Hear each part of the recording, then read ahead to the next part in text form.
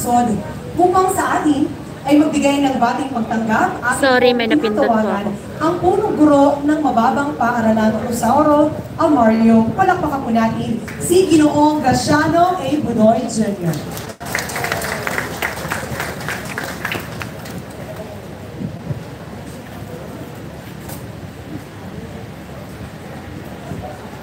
sa ating pong ah, ama ng lungsod ng Maynila.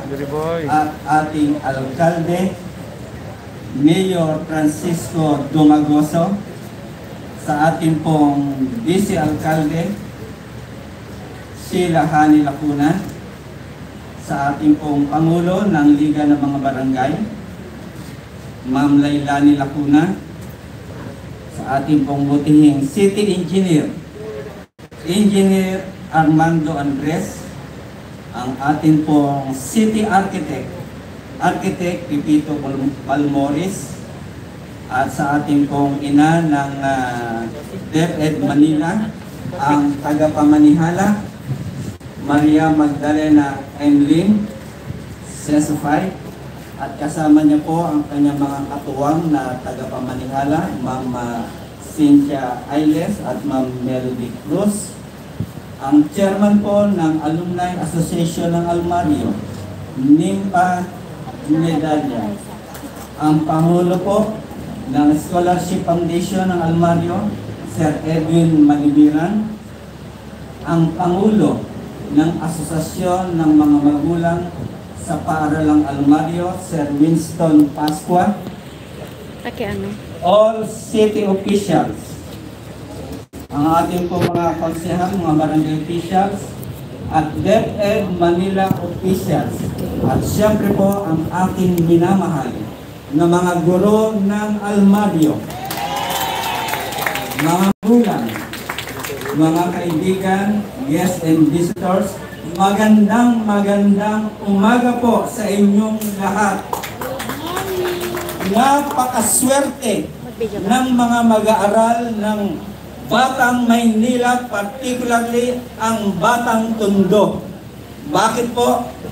Sapagkat sa larangan ng edukasyon ay nakita namin, hindi lang nakita, naramdaman ang full support ng ating ama ng Maynila. Sir, thank you, thank you very much.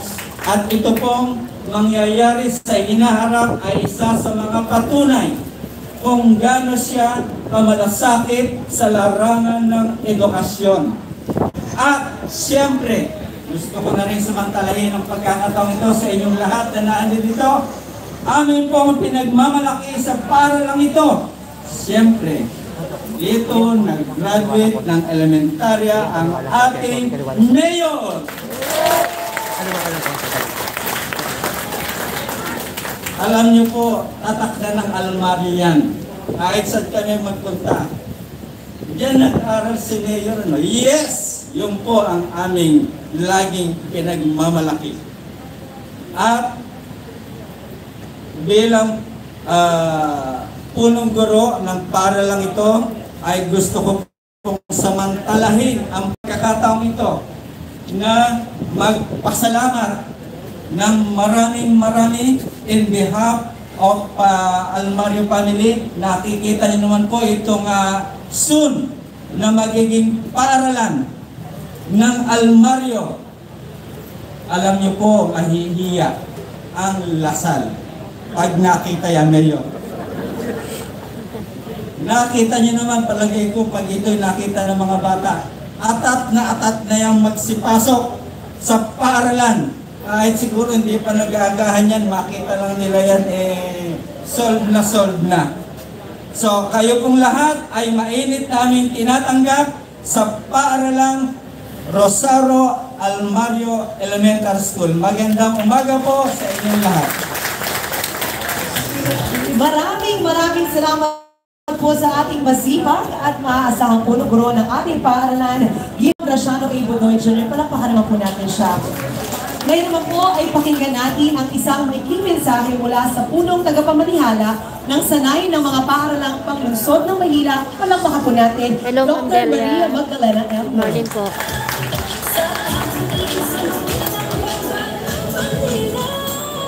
Magandang umaga po sa ating lahat. Sa ating minamahal na punong lungsod, Honorable Mayor Francisco Isko Moreno Dumagoso, sa ating mahal na uh, Vice Mayor, Vice Honorable Vice Mayor uh, Maria Sheila Hani Pangan, sa ating Manila team, Engineer Andres, uh, Architect Balmores, andito din ang ating uh, Director ng Barangay Bureau, uh, Director Romy Bagay, andito rin ang Director ng DTGAM, Director Charlie. Uh, gusto ko rin batiin ang aking pamilya sa DepEd. Andito ang aming dalawang Assistant Superintendents, si Assistant Superintendent Dr. Cynthia Ailes at Assistant Superintendent Dr. Melody Cruz. Ang ating dalawang Assistant Superintendent ay parating pa lang. Ang ating ah, masipag at magaling na principal ng Rosauro at Lario Elementary School, si Dr. ah, si Dr. Rashano Budoy, kasama ang kanyang mga guro na sa banda. Kasama rin ang ating district supervisor. Tumayo ka Ma'am Girlie Caperal. Ando si Dr. Girlie Caperal. Ah, binabati ko rin ang ating mga councilors sa District 1, ang ating mga barangay chairman sa 11 barangays, at ang kanilang mga kagawad. Ah, binabati ko rin ang mga alumni at mga magulang na nandito ngayon sa ating tulong ah, sa mga ah, alumni ng uh, uh, Rosauro Almario Elementary School. Lahat tayo lahat dito mapagpalang araw sa lahat.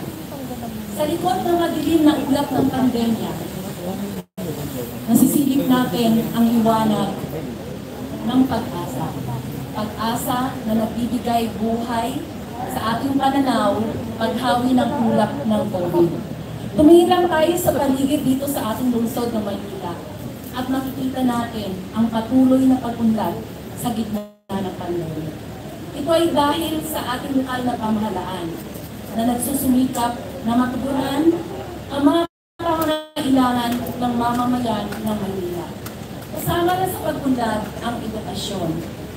Ang pagporta ng lungsod ng Maynila, ang pamanaan lungsod ng Maynila, sa pangunguna ng ating masipag na mayor, Mayor Francisco Isko Moreno Dumagoso, ay tumatak sa DepEd sa kasaysayan ng DepEd ang tulong sa distance learning education sa pamamagitan ng pagbigay ng malaking halaga. In fact, ang lungsod ng Maynila ang tumala na pirang malaki na iambag sa DepEd. Kung ang pag-uusapan natin ay tablets, laptops, internet load, food packs, hygiene kits, at even financial assistance sa ating mga teachers. Ito rin ang nanguna sa pagbibigay ng mga tablets sa ating mga bata at laptops sa ating mga teachers. Maraming salamat po sa ating na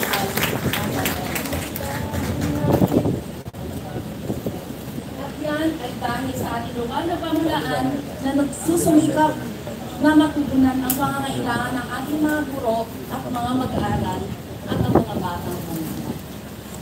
At dito, ngayong araw ating ah, groundbreaking, ay mapapatunayan natin na may panibago na naman bantayo na itatagdag ang Maynila sa kasaysayan ng DepEd at ng buong Pilipinas. Hi, Mami Still Dito Shin. sa Good morning. Elementary School, kasama ng dalawang paaralan, ang Albert Elementary School at Manila Science High School, ay itatayo ang pinakauna-unahang 10-story public school building na hindi natin nakalain na mangyayari sa isang publikong paaralan na magugulat ang pamayanan ng buong DepEd at ba- bawat isang Pilipino sa Pilipinas.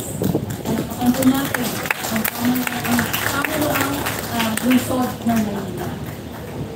Kung babalikan natin ang kasaysayan, ang Almario Elementary School ay nasimula noong 1947 bilang annex lamang ng Isabelo de los Reyes Elementary School. Ang kanyang paaralan ay ang sinatawag natin concept hut na meron lamang dalawang silid-aralan para sa grade 1 sa umaga at para sa grade 2 sa hapon. At noong 1963, ito'y naging complete primary school sa bisa ng City Ordinance 4556. At sa kalusuyan, ito ay meron ng population na 7,000 na mag-aaral. Pinakamalaki sa 73 schools, elementary schools ng Maynila. At pinagkakasya namin ito sa 115 classrooms na ngayon ang iba ay nag-iba na. Sa pamamagitan ng dalawang shifts. Isang shift sa umaga at isang shift sa hapon. Na tinuturuan ng 262 na mga guro. Ayan ang kanilang mga ah, kasamahang guro na nandiyan sa ating pa, tabi. Ngayon ay mababago na ito. Dahil sa pangarap na isang batang almaryo at nang noong siya ay gumraduate noong 1988, 33 years ago, ngayong panahon, tutuparin na niya ang pangarap ng bawat batang Maynila. Itatayo na ang 10-story building na nakala natin ay para lamang sa mga pram privado at ngayon higitan pa natin ang pampalibadong espeto.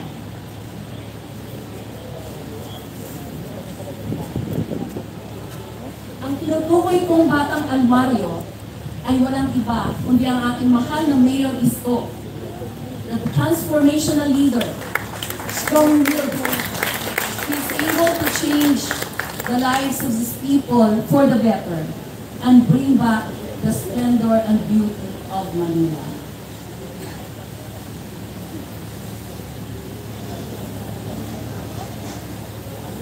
Tunay nga na pinatotohanan na niya na ang Manila ang may dala ng bandila ng ating bansa.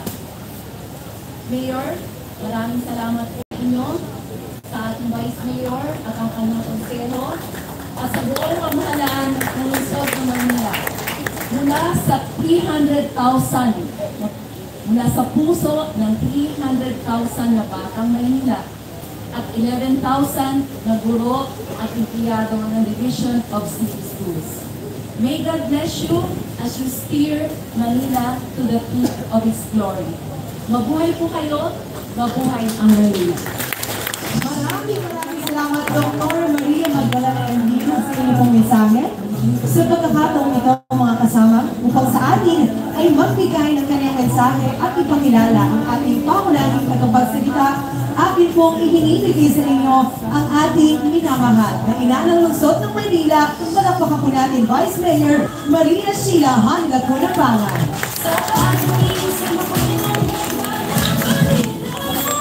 Magsipagpuna po kayo.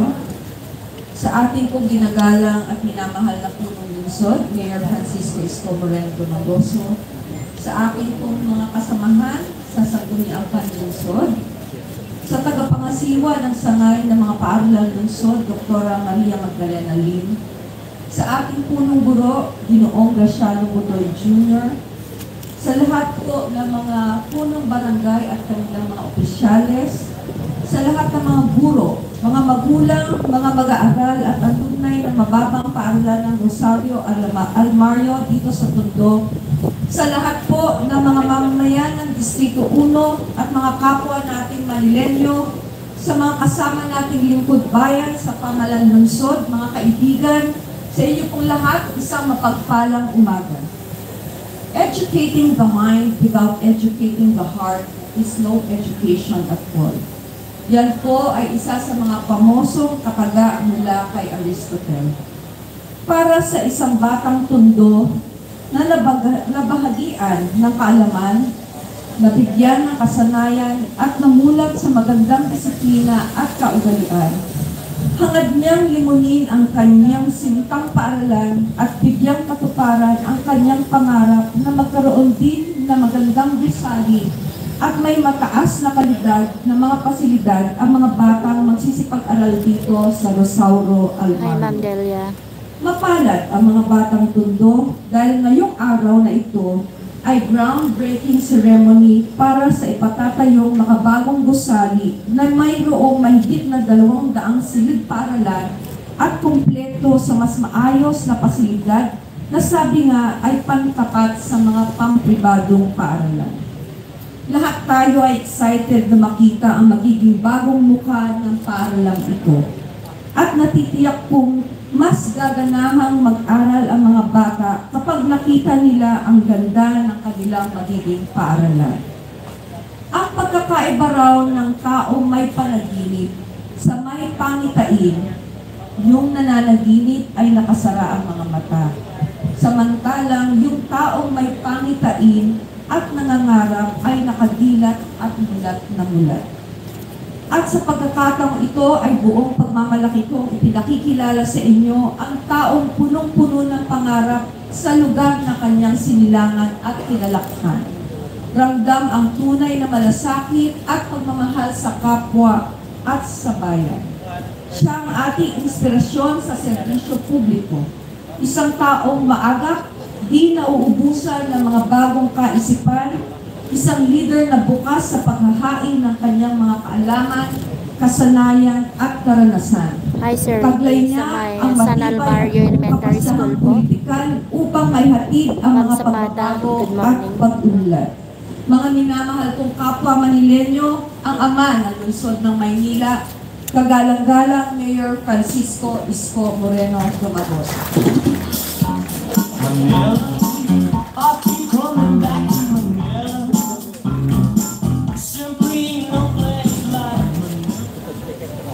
Manila. Maraming salamat sa ating ah, minamahal na Vice Mayor, Vice Mayor uh, Hani Laguna, na tinatawag din nating Hani Bakuna. Bakuna siya ng bakuna. Alam po ninyo yung ating minamahal na Vice Mayor, nahawa na. Nahawa nang huwag matulog. Dahil sa gabi, pagsara ng araw, kukwentahin kung gaano karami ang napaglingkuran natin sa usaping pangkalusugan na siya ang aking binigyan ng pagkakataon na mamahala siya. Tapos sa umaga, magbabakuna.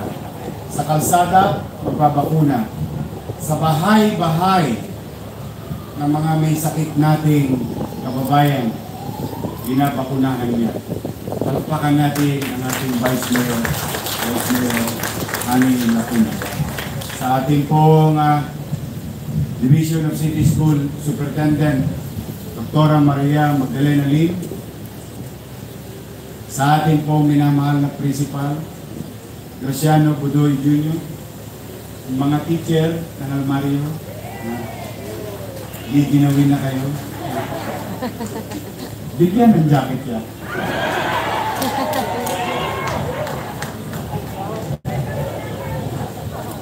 Pulmon ang naabutin ninyo. Sa akin pong mga kababayan na nandito rin at ah, siyempre ang ating mga kawani ng pamahalaan na lagi kong kausap sa gabi. O, Kasi po minsan matapos ang gawain sa araw, lahat ng gawain sa araw. Ito pinag-overtime ko lagi. Ito si Engineer Andres at saka si Architect Balmores. O, Palakpakan natin kung dalawa ito. Hi sir, Cristo. Noong nag-aaral ako rito, si Mr. Mercado sa Practical Arts. Nag-aaral kami ng drafting. Ah, Nag-aaral kami sa Practical Arts ng araw. Pero natutunan ko lang, croquis. Pero lahat ng croquis na yon ay isinabuhay ni Architect Balmori. Maraming maraming salamat sa iyo, Architect ah, Balmoris. At siyempre, ah, sa ating mga RAES o Almario Elementary School Alumni Association President Kim Pamilaya, Chairman din at the same time, Mr. Winston Pasqua, General Parents Teacher Community Association President. Gandang umaga sa iyo sa ating aliga ng mga barangay na ngayon ay kailangan magpa-swab test. Talagang sabi ko sa mag-iingat kayo. Oo, Kailangan niya magpa-test ang ating Presidente Honorable Leilani Lacuna at Director Roby Bagay ng Manila Barangay Bureau Mr. Edwin Malibiran, RAES Scholarship Foundation Program, at sa ating mga konsehal, sapagkat uh, alam niyo mga kababayan, mahalaga ang partisipasyon ng mga konsehal. Ang lahat ng ito, simula sa pangarap, drawing, salapi, ay hindi maisa sa katuparan kung walang batas. Ayan ang tinatawag nating ordinansa. Kaya taos puso ang pasasalamat ko kay uh, Vice Mayor Hanin Lacuna sa kanyang pamumuno at pakikiisa ng mga kusyal natin. Andyan si Kusyal Ian Nieva, Kusyal Irma Alfonso, Kusyal Jonix Junicio, Kusyal Babilin, at kung nabubuhay lang si Taga, oh, matutuwa yun dahil kapitbahay niya to Rich. Andito ang kanyang anak, Jesus Taga Pahardo Jr., mga barangay chairman, officials, at mga. SK. Naku, matutuwa kayo mga SK. Dahil ito'y programa pangkabataan para sa inyo ito na inyong pinamumuno ang mga kabataan sa kani-kaniyang tahanan. Mga XO, kagawan, secretary treasurer, at nakanot na nandito at lahat ng kawani ng pamalan. Good morning. Morning. Hi. Hello. Hello? Hi! Isang maulang umag. Blessing po yan. 33 years ago, tulad ng sinabi naalala pa ni Madam uh, Superintendent, ako po ay graduate sa mababang paralan pero hindi po siya mababa, five story po siya. Kasi lagi ko tinatanong sa nanay ko nung araw yun. Uh, nung pinasok ako dito, In fact, ito, zona 1, 2, at 3 halos. Halos dito na to. Pai- Paikot-ikot na to dito. So most likely, alam niyo yung kwento nito. Nung araw, ako po ay nakatira sa Parola. Parola Tundo. Wala pang ICTSI or MIP. No? Anong araw? Parola Compound. At ang tanging alaala lang ng parola ngayon ay yung Petron. Yun na lang ang buhay pa ngayon sa parola. Yung Petron sa kanto. Nung araw, uh, pag diyan ka sa parola compound, pag ikaw ay papasok sa kinder, hindi pa daycare ang tawag nung araw, kinder, papasok ka sa tulungan center kung saan nakatatag ang Gat Andres Bonifacio Hospital na pinagawa ni Mayor Alfredo Eslim. Diyan nag-aaral ng kinder ng araw. So, araw-araw from Parola, tatawid ako dito sa Delpan, Saragosa, dyan sa Tulungan Center. At ang katapat niyan ay ang Model Community at ang Bliss na nasa likod natin. Nung mga graduate ako doon, sinok pa ako ng nanay ko dito sa Almario. Ako po ay, uh, I think, section 23. Sa dulo ng walang marya. Alam na, alam na this. Pag ikaw nag-aaral sa public school, alam mo na yung ibig sabihin ng section mo. But, dahil sa pagsisikap ng nanay, bagamat squatter kami, bagamat uh, hirap ang buhay, iniraos ako ng nanay ko na mag-aral, mag-aral at mag-aral. Kaya ako ay uh, 100% produkto ng pampublikong paralan. Yan ang Rosario Almario Elementary School, Tulungan Center, Almario at Tondo High School. Ngayon mga kababayan, bagamat ako section 23, hindi ako nagkakamali teacher Lazaro, uh, yung aking grade 1 teacher. Maswerte naman ako, ay uh, kahit na pambura ng lapis ang tinitira ko, uh, tuwing recess, at ako ay naging volunteer sa pagkuha ng soup. Kasi dalawa ang titirahin mo nung pag babae, ikaw ang kukuha ng kantin.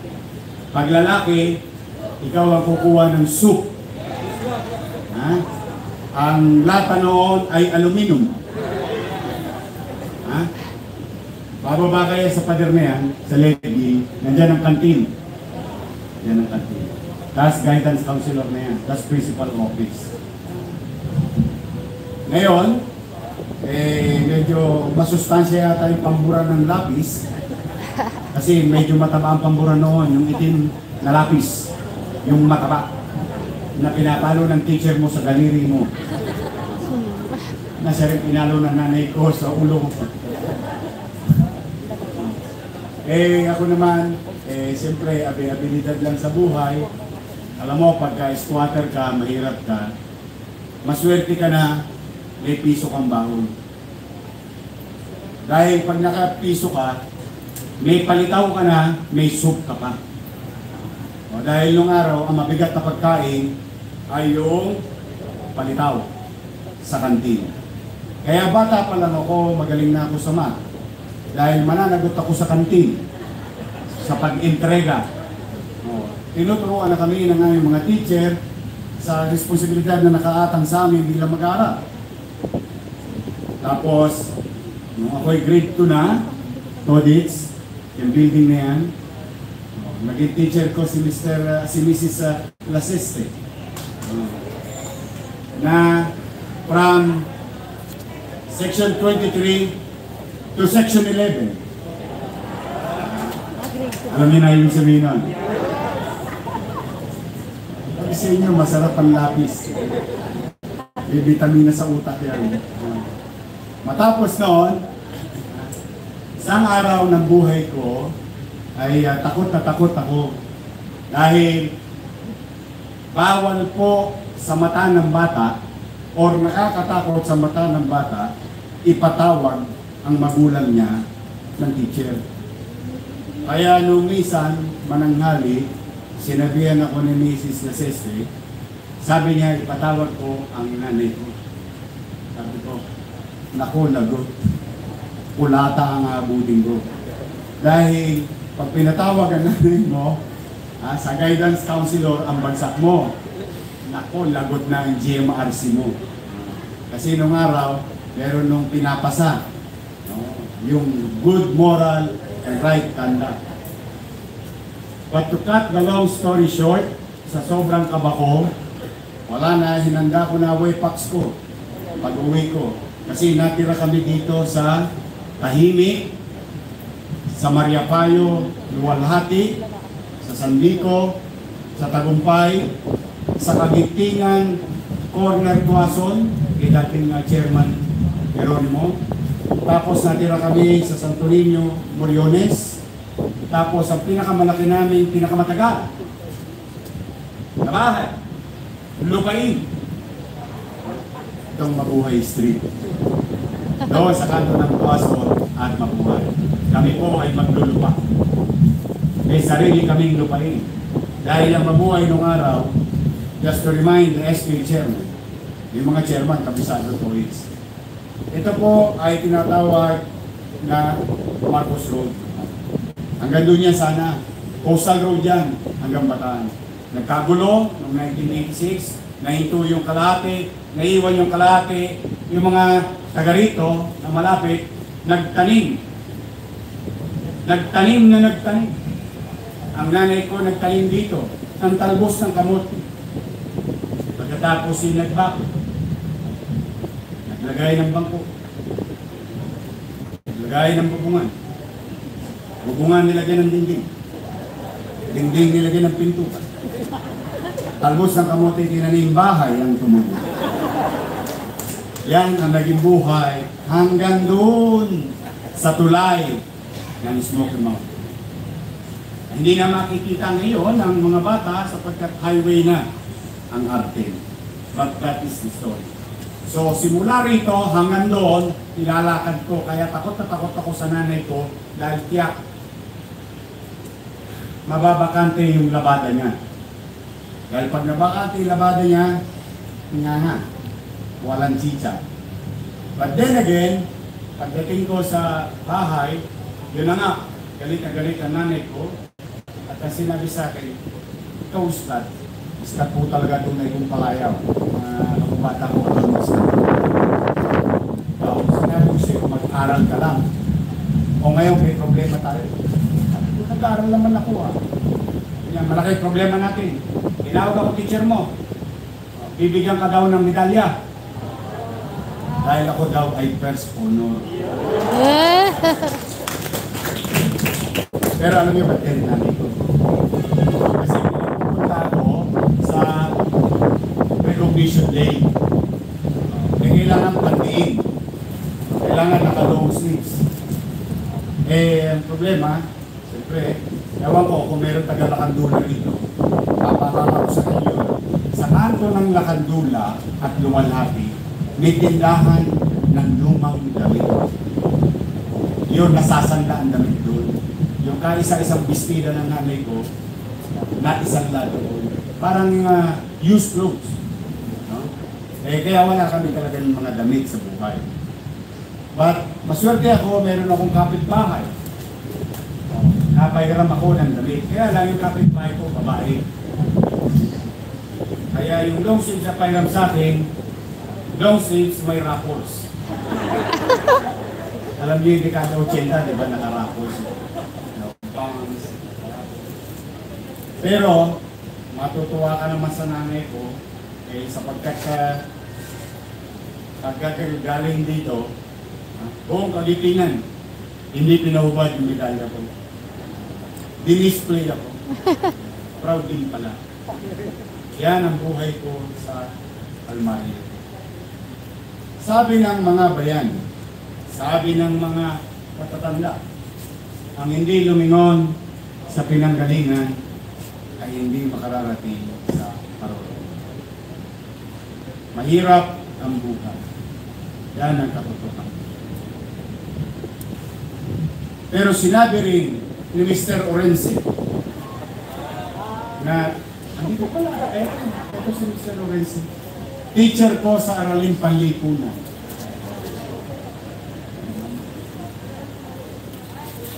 Ang mabisa daw na impluensya sa tao ay ang kanyang kapaligiran.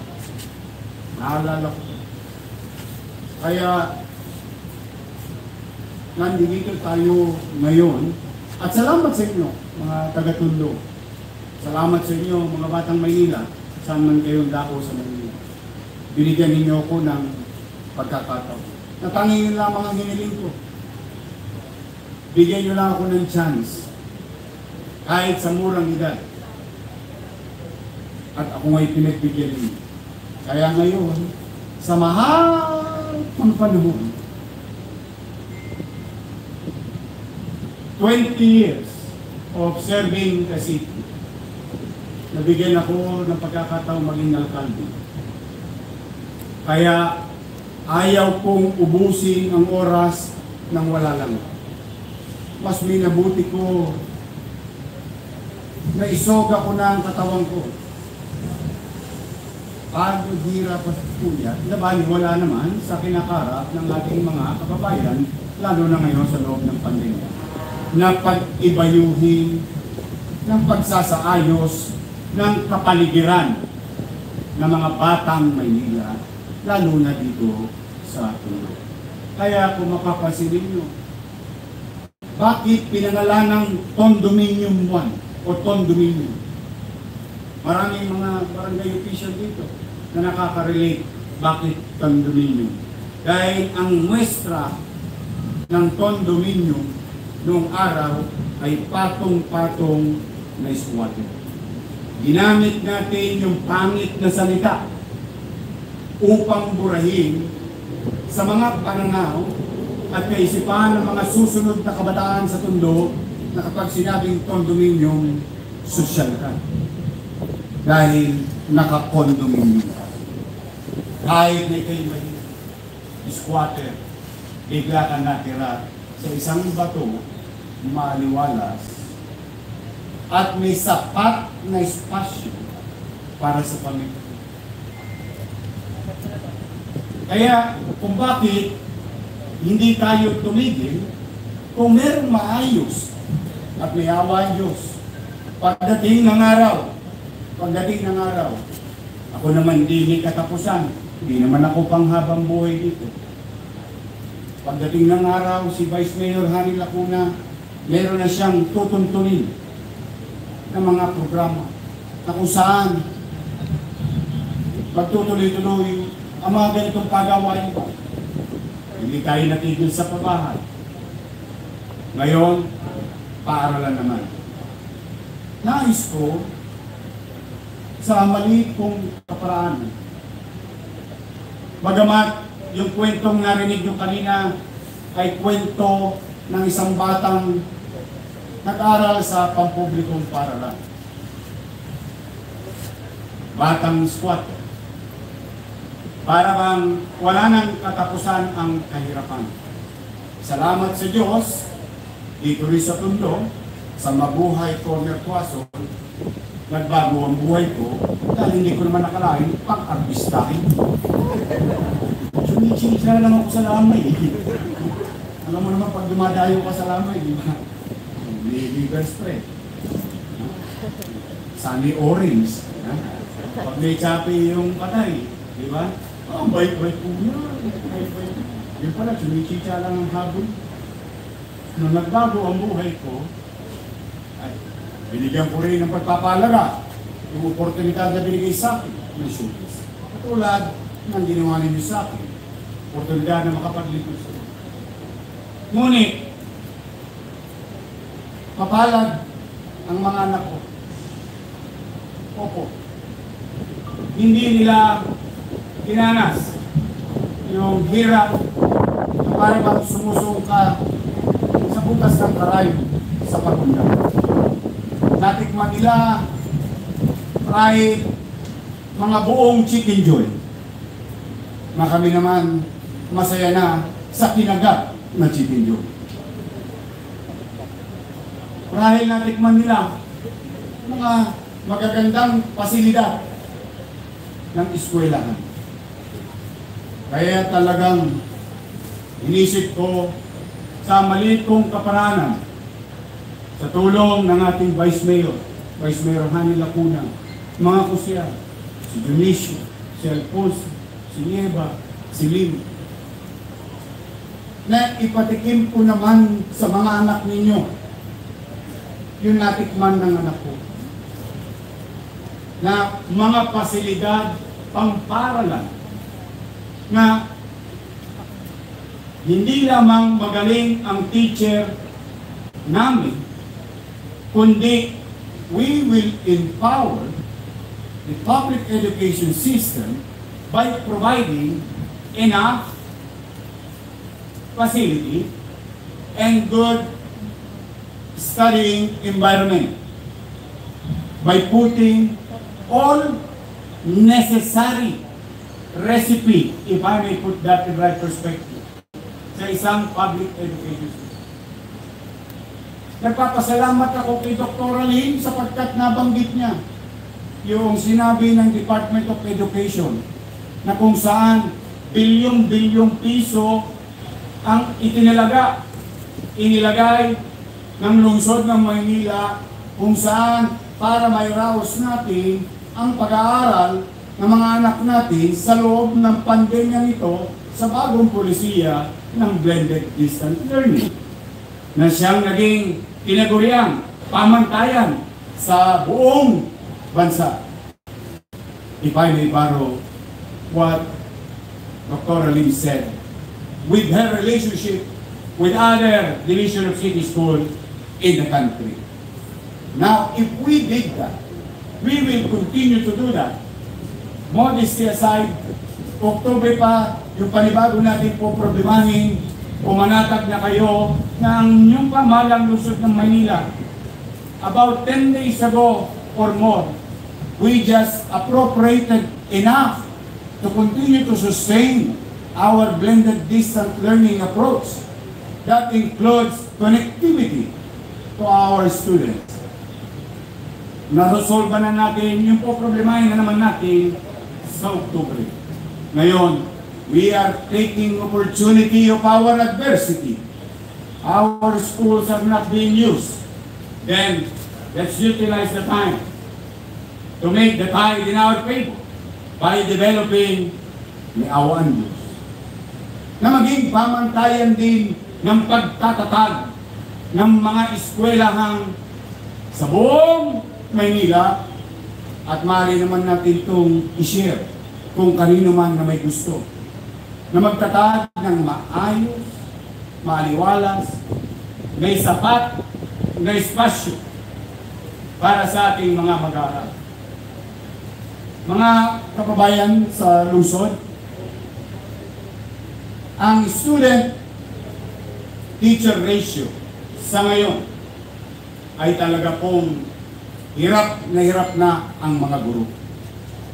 Dahil alam mo naman, ang mga bata, medyo pilyo.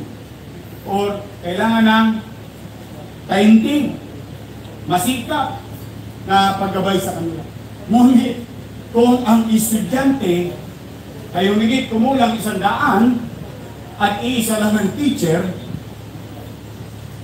nako, for Diyos por Santo, bata pa lang ang teacher, inuuban na sa konsumisyon. Totoo. Ngunit sa mga ganitong pagawain mga kababayan,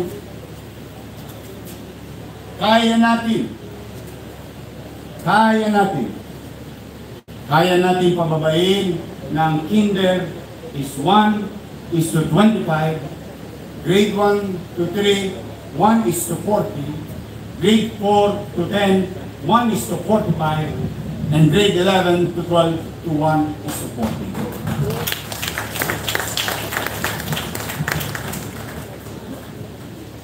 Six thousand one hundred forty-five point fifteen square meter of space. We will build three thousand six hundred square meter of educational facility times 10. That is 3 hectares and 6,000 of space for our students. Canteen at 340. Basketball court at 729.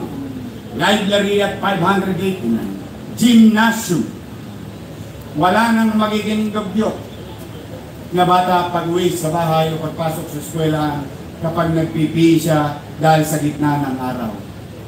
Napagagalitan ako ng nanay ko dahil hindi pwede madunihan ang damit ko pagka lunes dahil yun ay susuot ko ng martes dahil mahal ang Ajax, mahal ang Super Wing. Auditorium, 700 square meter. 8 elevators at 24-person capacity, parking space, roof decks that are usable, two faculty rooms per floor, social hall, and open lab. Yan ang mga pasilidad na nakamit ng anak ko sa mga pribadong eskwelahan na gusto kong makamit ng mga anak ninyo sa mga darating.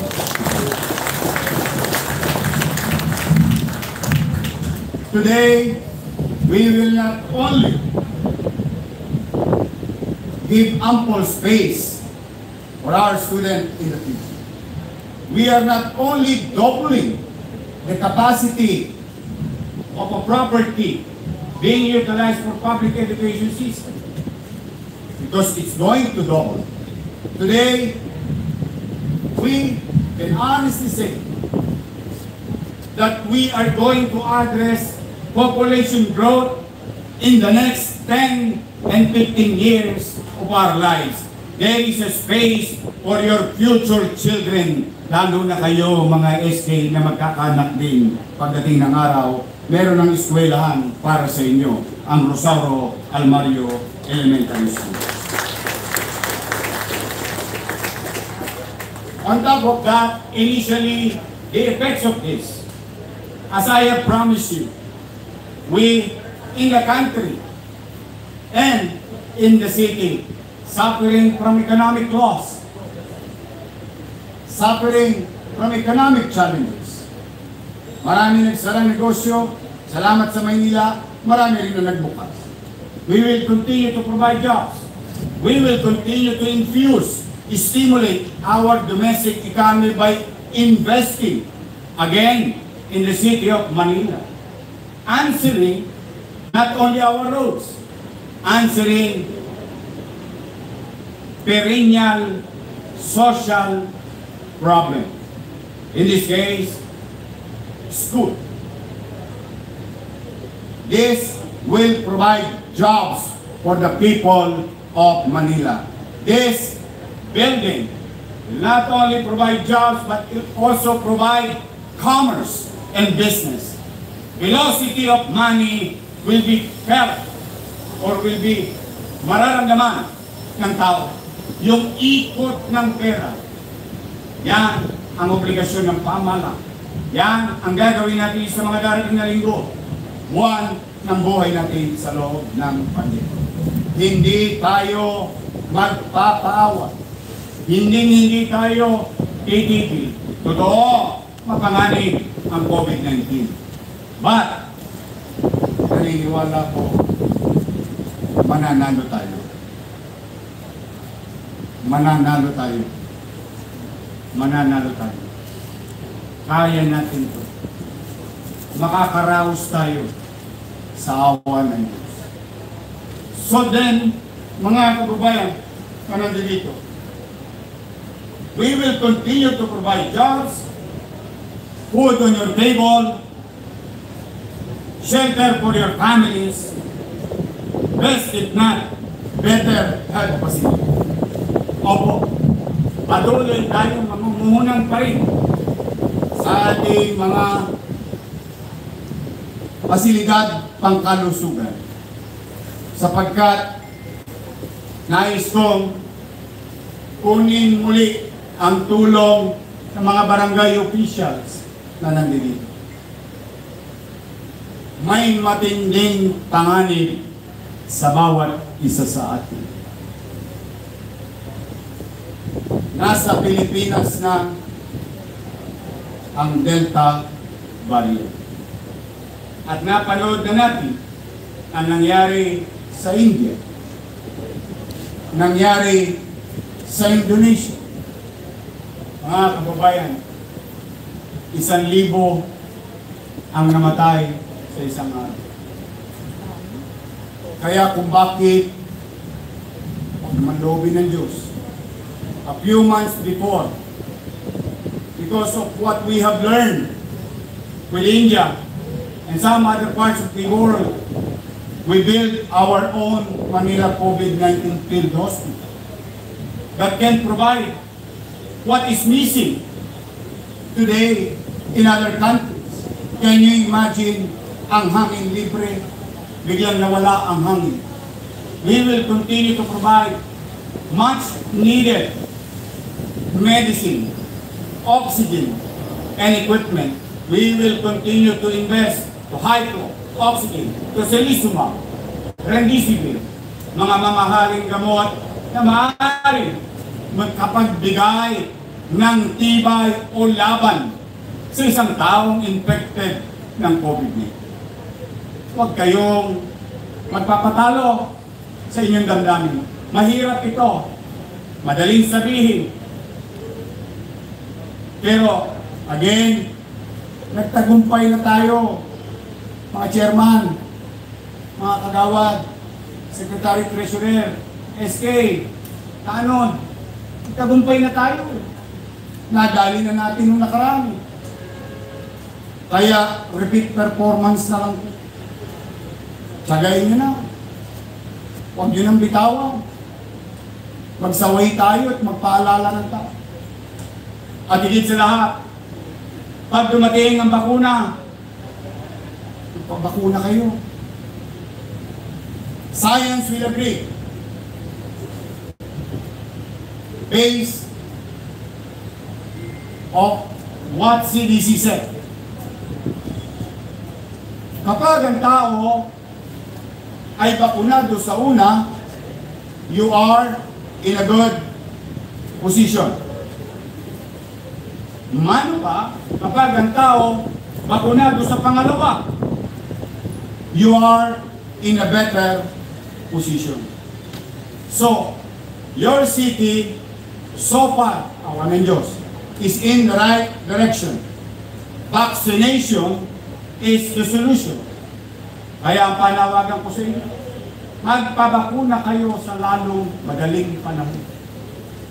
At higit sa lahat, ayon din sa pag-aaral ng mga siyentipiko, ang mga bakunang kinilala ng mundo at bakunang ginagamit sa mundo, anumang uri ito, ay ligtas at makatutulong labanan ang Delta variant. If we Manilans, all of us, cross finger may hawa ang Diyos, nabakunahan. Ito ay pababa sa epidemic na lamang.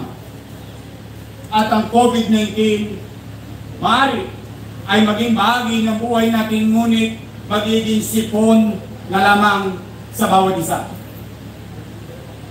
At pag nangyari yon, unti-unti na tayo makakapanguhay ng normal. Sapagkat kahit sino naman ngayon ay pwedeng sipunin. Kahit sino naman ngayon pwedeng trangkasuhin. So kung magkakabumpay tayo na mabakunahan, maaari pa rin tayo magka-COVID. Ngunit ang iniiwasan natin ay kamatayan. Sapagkat alam natin na ang COVID-19 ay nagdudulot ng kamatayan. Kaya, while we build, while we live, we must confront COVID.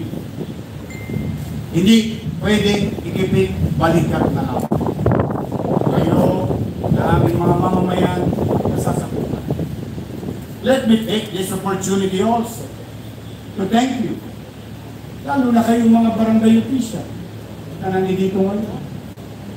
To thank you sapagkat nadali natin, naitawid natin ng tao ng naayon sa panahon na walang magutom sa mayon at hindi maidadalayo sa bahay-bahay. And I give that credit to you. Thank you very much mga barangay official na hinatid ninyo ang mga food boxes sa kani-kaniyang tahanan ng inyong nasasakupan. Now, to our teachers, principals, members of the DepEd family or DCS family, and to the non-teaching personnel of our city school, umasa kayo, umasa kayo. Sa maliit ng kaparaan, you are always in our radar. You are the priority of the city. Because I believe if we, as government, will address MBM or minimum basic needs, food, shelter, education, and health, I think pag nagtagumpay tayo doon, mapapataas natin kahit unti-unti ang kalidad ng pamumuhay ng bawat pamilyang Manileño. So to our teachers, this is, today is a testament of our commitment to you. I hope someday you will not go to Hong Kong, you will not go to Singapore, you will not go to any place in this world. You will stay as our teachers. Salamat sa pagtsatsaga ninyo. Akalain nyo, meron na kayong estudyanteng mayor.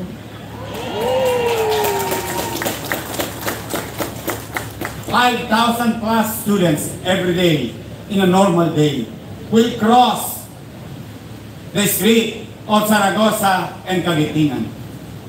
5,000 students, more or less, will cross Arden towards Valderrama, towards Parola, towards Pier.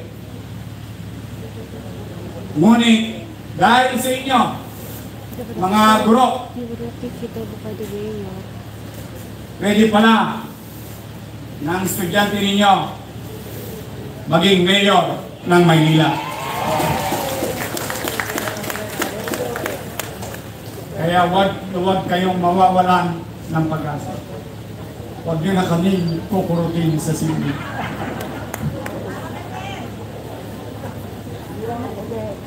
Pero mabisa yun. Oh. Nung araw may kabaka sa teacher mo. Eh. no? Ngayon, iwawayway ka ng estudyante mo. What? What? Wayway ko mukha mo eh. Nung araw nga, pinapalo pa kami ng patpat sa kamay. eh. Come forward. Oh, ganyan ka yung mic mo. O kaya, mag-i-erase ka. But anyway, those are the things of the past. We must move on. So, meron tayong kabahay na mala Singapore. Yes, they did it. Kuan Yew did it. 50 years after, simula nung pinisan nila yun, wala nang squatter sa Singapore. Now, we will build almost the same. Not only in our country, but also a Singapore-like public education facility. Kaya sa inyo lahat na nandito, mga kababayan, buong kababayan ko, nakikisuyo ko sa inyo. Tulungan ninyo kong sawatahin yung COVID-19. Tulungan ninyo. Kailangan to sama-sama tayo. Kailangan. Hindi kanya-kanya. Hindi puli-politika. Ang pagkakaisa natin bilang mamamayan on top of what we are going to do as government ay mabisang pamamaraan upang matugunan natin na laging mababa. O sana, sana, maaaring near to impossible. Pero sana, mawala na ang COVID. But for now, let's get vaccinated, let's move forward, let's govern. Iparamdam natin sa bawat batang Maynila, may gobyerno sa lungsod ng Maynila. Dahil yun lamang ang inaasahan ng tao ngayon. Hindi ang kanyang kapatid na may suliranin. Hindi ang kanyang magulang na may suliranin din. Hindi ang kanyang kaibigan na may suliranin din. Pamalaan. Pamalaan ang inaasahan ng ating mamamayan. Ngayon natin iparamdam sa kanila na dito sa Maynila may gobyerno. Kailangan ko ang pakikiisa ninyong lahat. Kailangan ko ng tulong ninyong lahat. Kaya natin to. Kaya natin to. Mananalo tayo. May awa ang Diyos. May awa ang Diyos. Makararaos tayo. At wala at walang ibang darating sa ating kundi tayo lamang. Tayo-tayo ang magkikita sa finals. And let me remind you, iisang bangka tayo. Wala nang iba. Magandang araw. Pagpalain nawa kayo ng Maraming salamat. Manila, God first. Maraming salamat po, Mayor Francisco Isko Moreno Dumagoso sa inyong nakaka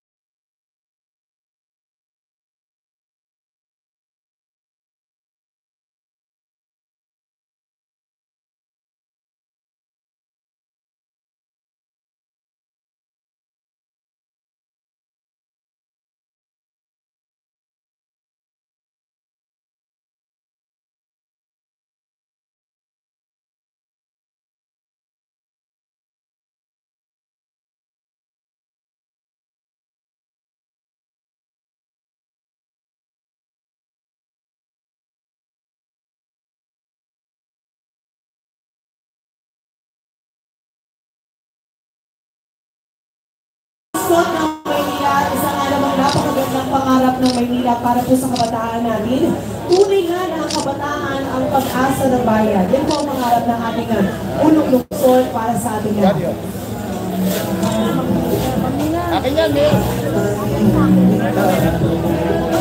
Picture lang po ang ating mga kansehal. Isa lamang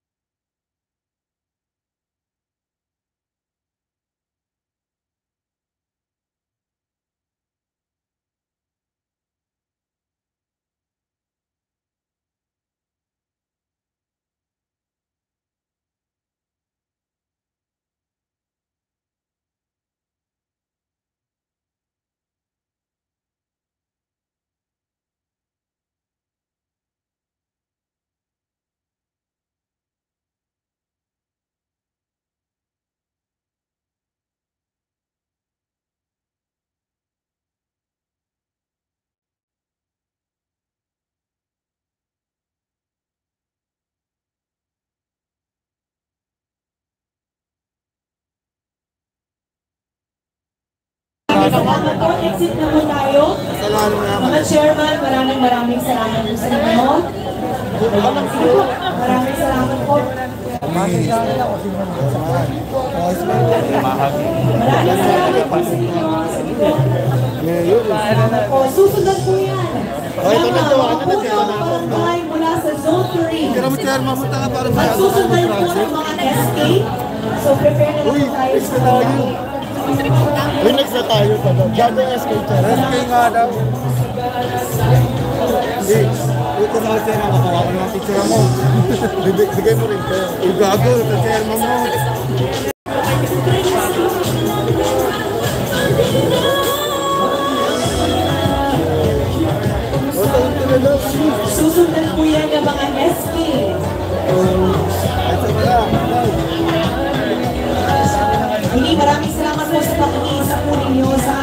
programa ngayong umaga ito.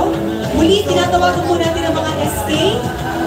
Ang lahat po ng mga SK, samahan po natin uh, ating Mayor and Vice Mayor dito sa Integrado. Maraming salamat po. Maraming salamat po sa inyo.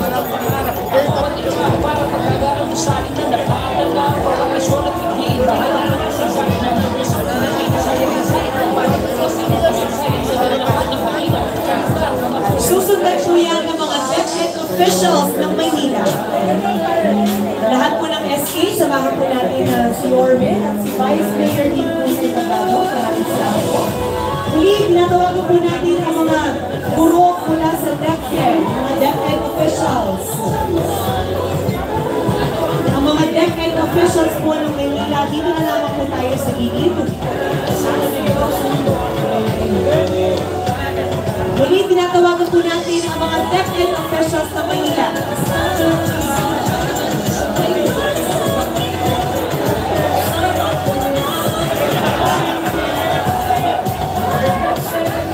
Maraming maraming salamat po. Ayan, sige po, exit po susunod po ito ng mga DepEd officials. Mama Lolita Redome. Ah, copyrighted po kasi yung song, kaya minute ko po, naka-mute. Susunod po ito ng mga deaf Kasi sayang lang po yung live po natin pag ah, naka-copyright po. Dito po tayo. Sige po. Kung maaari lamang po ay medyo maghiwa-hiwalay po tayo. Ayan.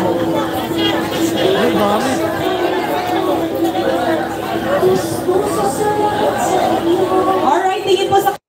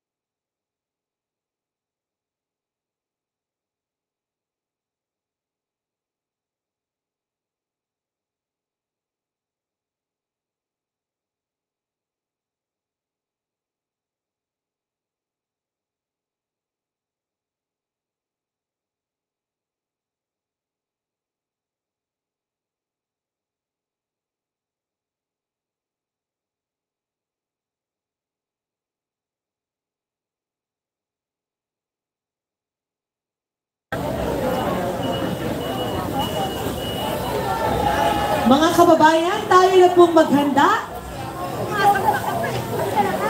At ito na po ang paghuhulog ng plano sa kapsula. Sabay-sabay po tayo magbilang in 3,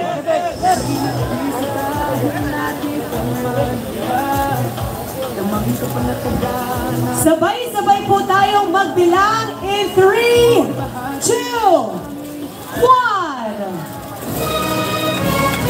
Ganap na nga pong naihulog ang plano sa kapsula, isang masigabong palakpakan. Muli, ito po ang 10-story Rosauro Almario Elementary School, fully air-conditioned classrooms and offices, handog po ng lungsod ng Maynila.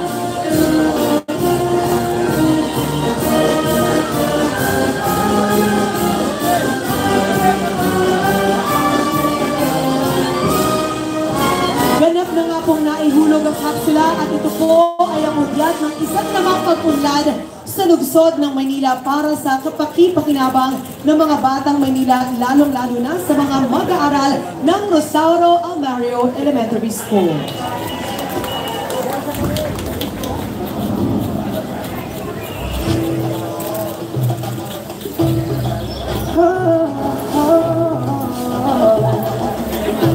Atin pong pinasasalamatan la- ang lahat ng ating mga naging panauhin at nakiisa sa ating programa ngayong umagang ito. Gayon din naman sa lahat ng tumulong upang ang ating programa ay maging matagumpay. Muli, ito po si Camila Escanio, ang inyong tagapagpakilala. Maraming salamat po at mabuhay po tayong lahat. Tumulong kayong magalak sa akin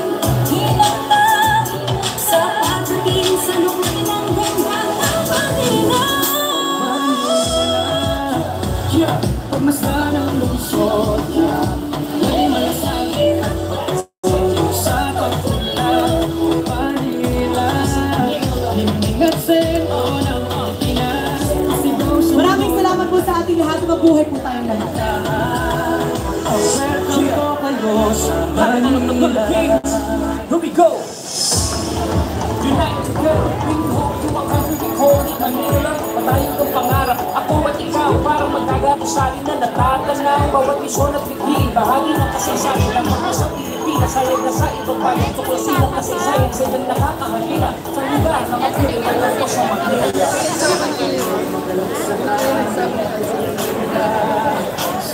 Okay pa, siklet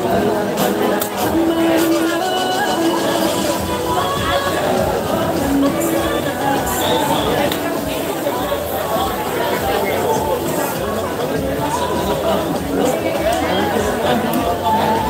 Di pa, pa. Di pa.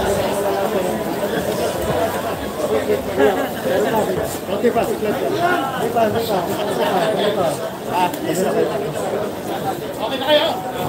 Muli, ah, sa mga tao po na nasa entablado, inaanihan po bawat isa na tumugol sa physical distancing.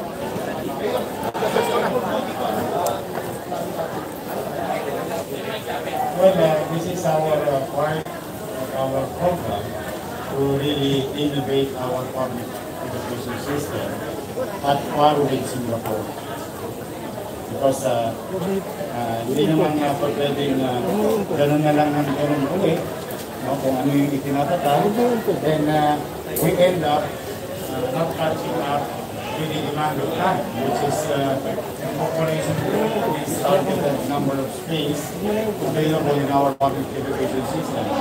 This building, 10-story fully air conditioned public elementary school can address at least 10 to 15 years of population growth.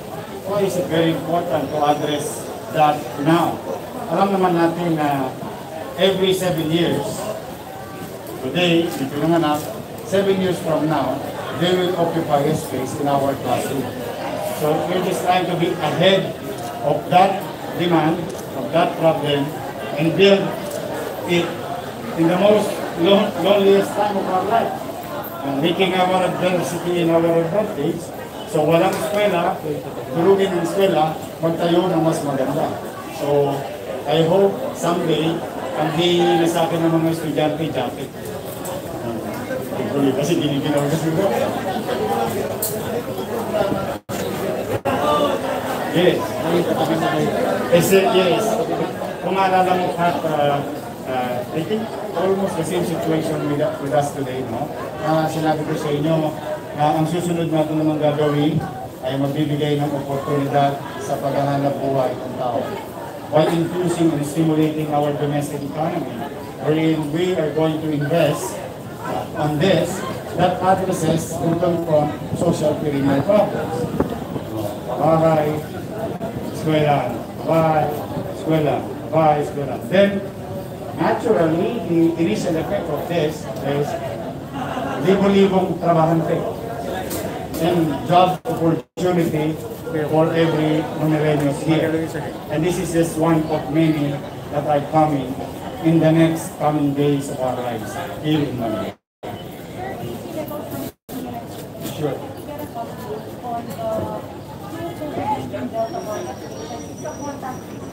Well, salamat sa Diyos. Ah, okay naman. Uh, bagamat bago sinabi sa amin ng DOH, ay 3 weeks old na. So, my, my, my, my take is, most likely they're going to turn negative. Which, lumabas na negative yung mga initial na contact trace. At merong isa ng positive.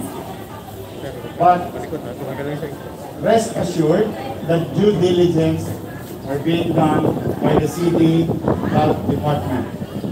Now, let me put context on that. Doon sa nagpositibo, ay hindi siya kailangan submit sa genome sequencing sa Genome Center. Simply because yung uh, tinatawag na city value noong in-extract na content ay hindi bumaba ng 20 because the threshold is 20. So anything below 20 with regard to city value ay padadala agad sa Genome Center. So ang good news, wala pa tayong pinadadala ngayon sa mga na-test. Simply because most likely this is a regular uh, COVID-19. But be that as it may, I already ordered randomly continue to send content of those uh, positive cases in the city of Manila to Genome Center. And I hope, and I hope, it will not come after three weeks. I don't know with them. I don't know with them.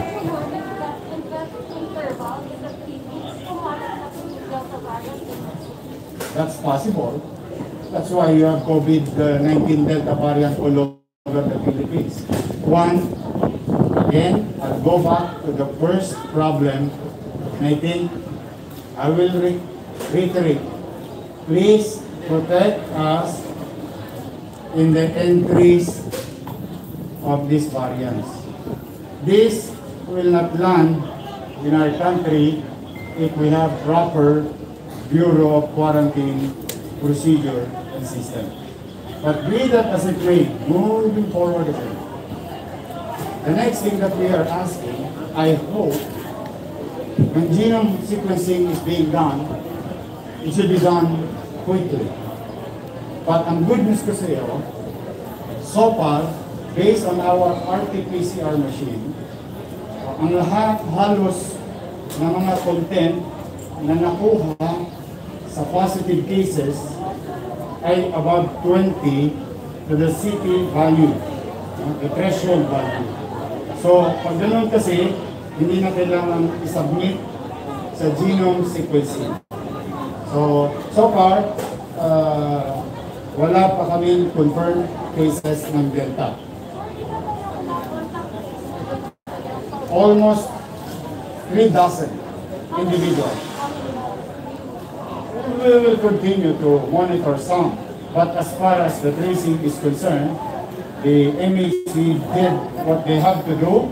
Immediately the night of you, the night that we were informed of the June 26 situation at July 16, July 15, we were in we did what we had to do as of the government. I hope mas maaga. I hope. But sabi ng mga batang Manila, nasa naman kayo sa Omar?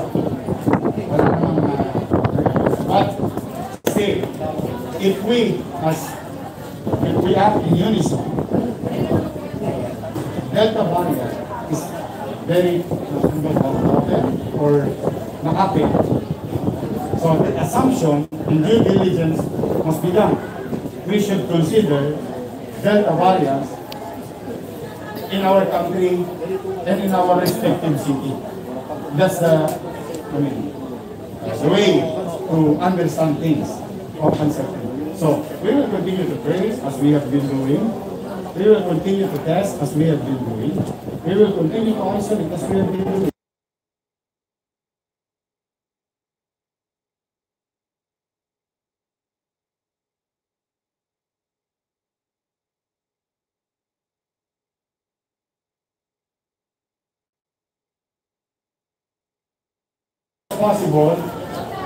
The. Because science will agree, science said a while ago, if we vaccinate people, first, you are in a good situation. If you vaccinate people once or full cycle, you will be in a better position. But this will not stop you getting infected with COVID-19. But science will tell us this will help us during the infection of COVID-19 SARS-CoV-2, Alpha, and Delta variants. So the key is vaccination is the solution.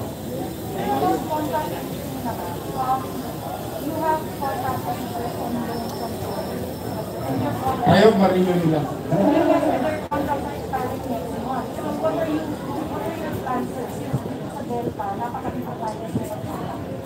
Yes, uh, we've been doing our own, and we are being reinforced by these resources.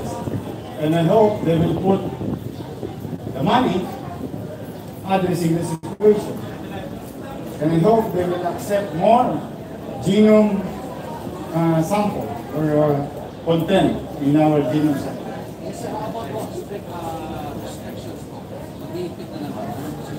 Well, uh, yeah. We must learn how to live with COVID-19. At the same time, we must learn how to go back to work safely. So, COVID-19 will stay. Whether it is SARS-CoV-2, the original, Alpha or Delta, o ano-ano pang fraternity na darating sa mga darating na panahon. The solution, more than tracing, more than any other thing, is proteksyonan ang tao, ang katawan ng tao. Which is, let's vaccinate people so that we will raise the confidence of each and every one. We cannot go and you know, continue to live in fear. That will not bring us anywhere. We must move on. We must change our plan. We cannot live on social distancing alone. We cannot live on mask alone. We cannot live on hand washing alone. We must make vaccine available to the general population.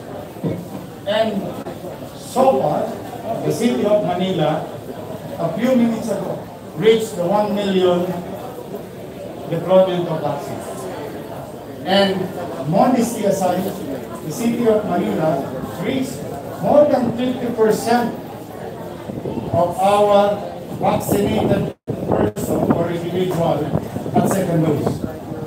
So, konti na lang, Diyos, konti na lang, we will reach the 800,000 margin for goal. At 70% of our population, 18 years old above. So if we are at 635 or 650, most likely in a matter of few weeks, above or before September goal. Then hopefully, we will continue to have vaccine, provide us vaccine. We are very grateful to the national government, uh, but we can do more. We can do more. Yes. Isa. Pero above above 20 city value. So, yes. Kasi anything below, kailangan ito pala. And itong, yung valuation na to, yung threshold, ah, is nakikita ng RT-PCR machine. Nabibilang ng RT-PCR. Para may padala na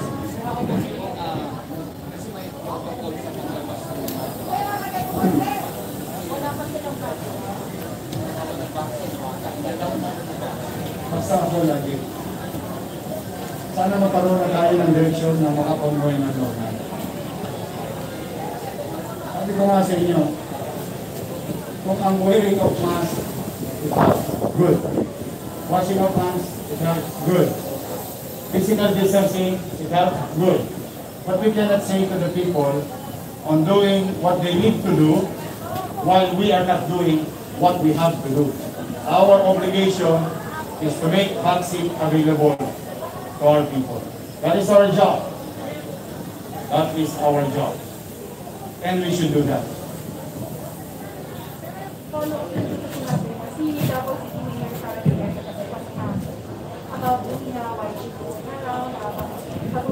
has nothing to do with Manila, sir. Good luck.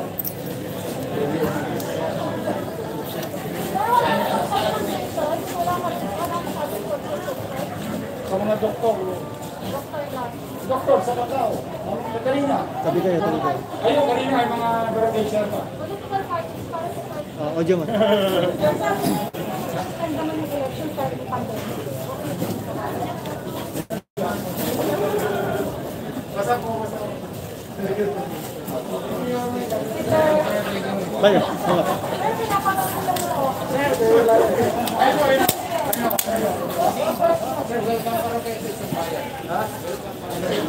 Ah,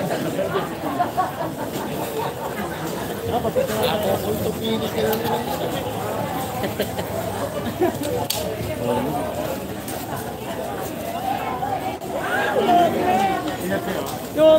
Bayo, mga. Hoy, mag-ingat kayo ha. Kaya, ganun sabi ko sa'yo eh. Halika.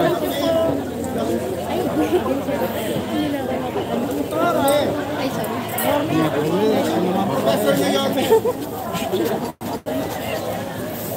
Picture lang sana. Habang malapit pa, picture ka lang.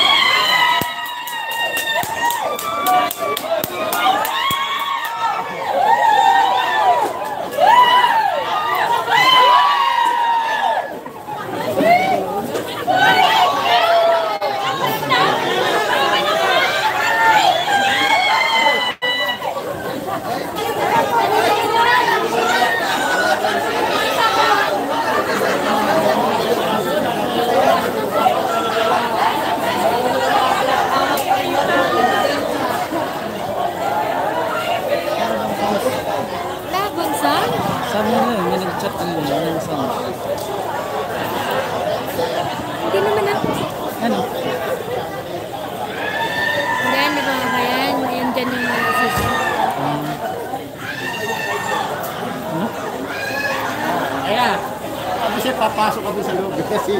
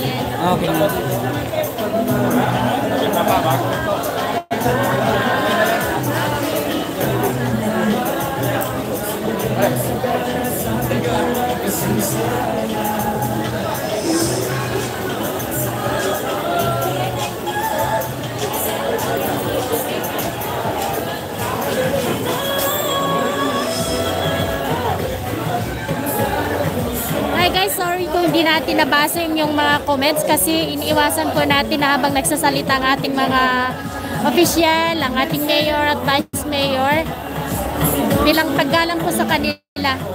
Ayan, yan po ang uh, groundbreaking dito sa Rosario Elementary School po. Maraming maraming sa lahat.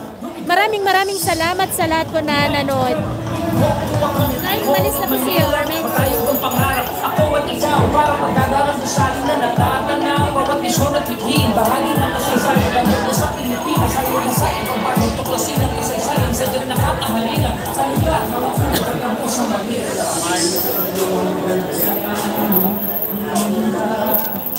Parang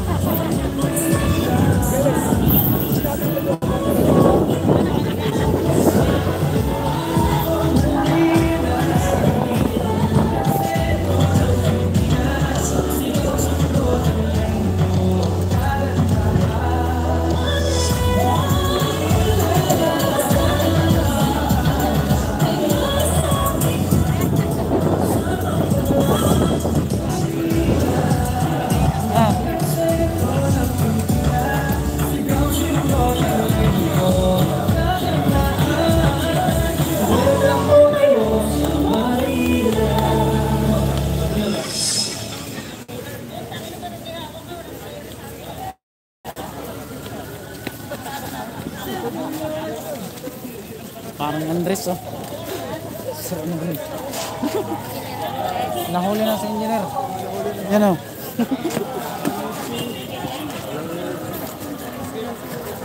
Nala yung pa ako kanina eh. Oo nga eh. Idol ko yan, oh. Saan? Idol ko yan eh. Palabas.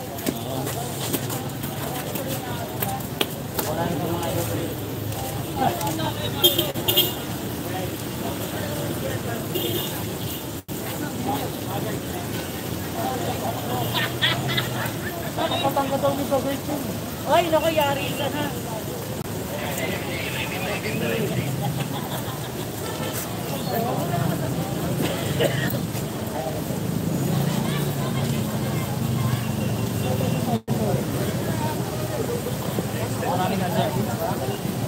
Maraming service si Melvin. Hindi ako makalapit. Ako siguro kung ako sa labi ng kapit. Hindi ako makalo. Kita picture kay engineer. Engineer Andres. Kasi, Idol ko yun. yan, oh. Yan. Gusto mapapicture kay... Hindi, mapicture ko si Melvin sa'yo yun eh. Idol na idol mo eh.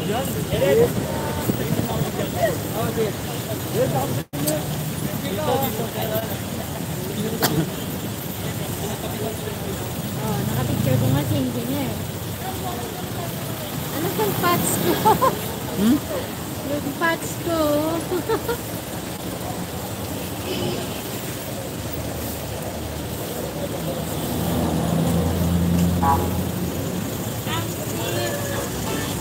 Ang lamig. Pero yung American, sa kanan, dalawa. Sabi niya. Sabi niya.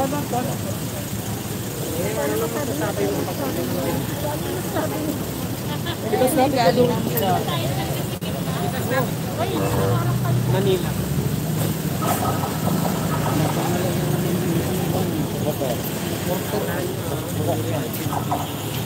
Ang dami na nga niyang tanong, bugok pa. Ang layo ng... Ay, kakapaya na nga na, Mike. Ano sa natin?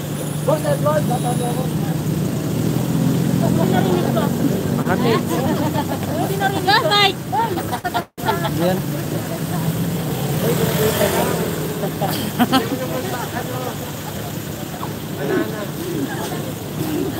Ayun.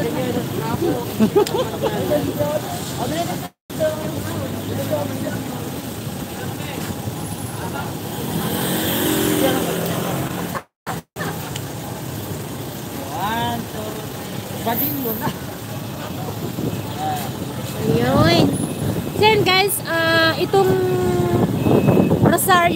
Almario Elementary School ay malapit lamang po ng Saragossa Gate. Yan po yung ah, North Port ng ah, Philippine Port Authority. Yan, magiging 10 story po siya.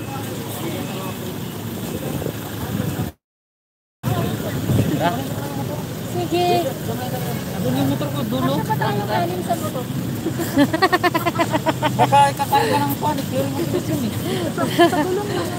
Maigpit ang YouTube sa copywriter, hindi maigpit sa fake news. Sir Gregorio.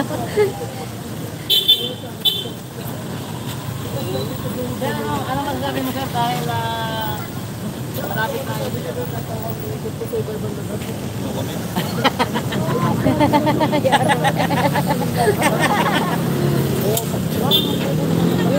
So yung ah, school features po niya mga kababayan ay magkakaroon po ng 227 classrooms. Meron siyang 12 offices. Meron siyang ah, library. Meron siyang canteen. Ano eh? Meron siyang ah, gymnasium. At ah, ayan nga mga kababayan, dahil 10 story po siya, yung gymnasium ay ah, sa 10th floor po siya ilalagay. Yung ah, canteen nasa first floor. Yung library naman ay nasa second floor.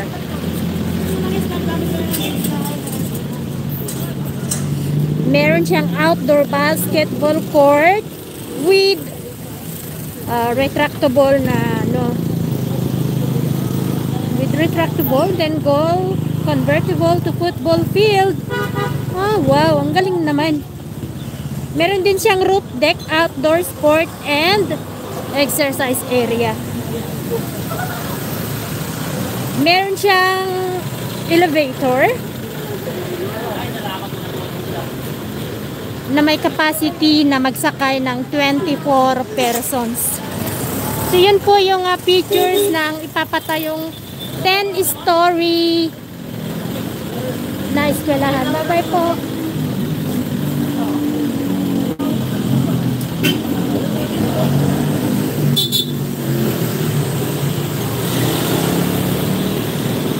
So, ongoing ang towing ng Metal Gear 117.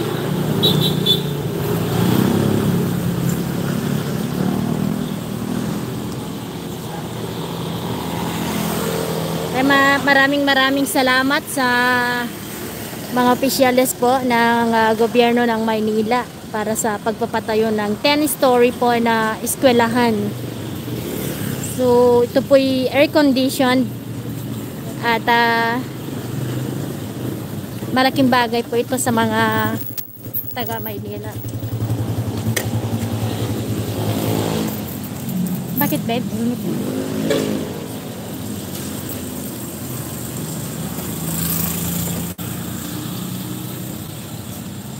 Ate Melvi, good morning. The name of this school is Rosario Almario Elementary, not Rosario. Ah, Rosario. Rosauro. Thank you, thank you. Esther Reyes Aquino.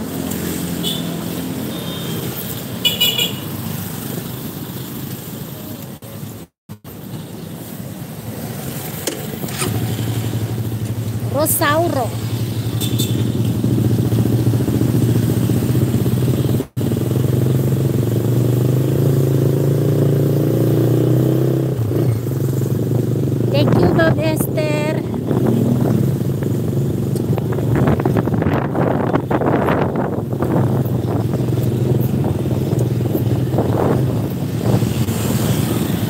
Selfie, everybody is happy. Ma'am Carmelito, opo, pati yung mga teachers napapatili. Hi guys. Saan na tayo ngayon? Chug, chugs. saan tayo? ah, saan tayo? Wow! 1 million and 37,000 ang viewers mo, friend. Oh, 200 kanina. Oh? Dito tayo po. Shout out sa poging-poging vlogger na si Red. Shoutout po kay uh, Ponce. Cisco Mon Ponce. B. Shoutout po kay Ponce. At kay Sabihin Maria na ba? Lubit. One Ponce and Billy. Kamag-anak mo siya? Ponce siya eh. Hindi, Ponce. Yung Ponce na ano, yung dalawan. Ay. Katulad na rin ng immortal. Oh. Oh, immortal. Immortal yan, immortal. apelido namin. Ito, Immortal. sa kuya mo dinamita yan, hindi pa nabawasak yan. Pinagsamang Moreno at saka Moreno pero mestizo. Mistis. Kaya Louie, kasya ka dito. Ang haba ng, ano, isang oras. Nakakayari. oh, dito si Red sumasakay. Sa gitna namin. Seryoso? Oh, seryoso. Na talaga. Eh, naku, eh. Sabi nga ng TPB, bakit nandun na naman yung tatlo? Sa kala, Lagi ka nakikita. pang-helmet. Naka-helmet. Saan na tayo? Bibilad muna tayo rito. Ba't tayo, Omar? Kay Omar ba? May pagkain ba siya doon? Oh, sige. See you there! Yahoo! Sabi ka ni Ponce. Sabi ka ni Ponce, oh. Dati, dating dyan kayo. Hi, Leia! Sabi ni Mami Stilshin. Hi, Ponce! Sabi ni Mami Stilshin. hindi po si Leia yan. Si Leo yan. Thank you, Did. Ayun. Sabi pa Salamat niya kanina, po. magpa-picture sana ako kay Yorme. Sabay pa rin niya? Sino? Hindi, nakapapapicture ako kuya. Kaso nasisilaw na sa kagandahan. Sino? Kasi naman. Sabi ni Yorme kanina, natingin si Ponce. oh. Ganun si, sabi ni Ponce. Ganun siya? Baklang to. Ganun siya oh. Ah! Kagat, kagat ko ko.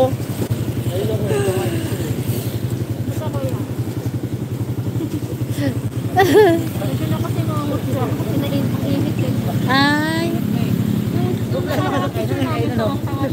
Oh. Malas dito ay. Ay, bawang pala yun. Awang ko. Bawang store. Tara. Okay, see you there.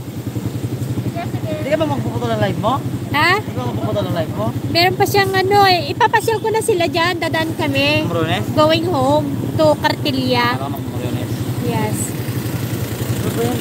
Ang Cartilla, open lang din pala yung uh, fountain niya at 6.30. Sabay-sabay sila ng Anda Circle at saka ah, ba? ang Marianes Fountain, sabay-sabay din pala siya sa pagsirit ng Anda Circle at Cartilla, 6.30. Morianes Sorry pala po. Dilpan yan, palabasin ng dilpan. Palabasin ng dilpan. Dito dahil pa nga. Andyan pala ang buong Barkadoodle. Someday meet up tayo ha. Opo, Mami Stilshin. Si Mami Stilshin. Sa akin nanonood sa akin ng station kanina kaso wala akong gimbal. Sakit-sakit sa kamay. Nakaganyan din nga ako eh. Tinawag ko si Mike. Ah, sabi ni Ma'am Station? Meet up? Meet up the someday. Saan? Yung Barkadoodle. Saan daw Mami Stilshin? Saan po Mami Stilshin? Sigurado QC yan. QC? Si Oo, Mami di, di kasi Stilshin. makakalayo si Ma'am Station. Kasi di ba may sakit sa So, yun. Mga QC ka. Oo. Yung sa mansion niya, mansion yung bahay ni Ma'am Pwede Station. puntahan natin. Yung bahay niya may escalator sa elevator. Oh, may swimming pool nga sa taas. Oo. Oo, yun na. Nagbasag na kayo. Ano? Ano, kita tayo doon. Ano? Sige, kita-kits na tayo doon. Saan tayo makita-kita? Kayo pa. Kay Omar, ah, sige. Tara, bye. See you there. Bye. Ako ilakad ko na yung mga viewers ko. Ay, lakad, itakbo.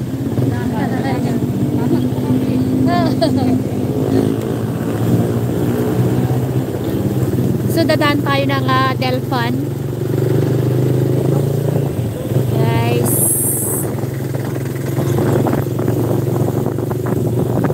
So, motovlog na po tayo.